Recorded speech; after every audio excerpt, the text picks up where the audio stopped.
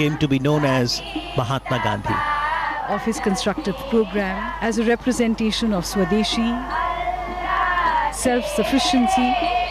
and at the same time, for most people trying the charka for the first time,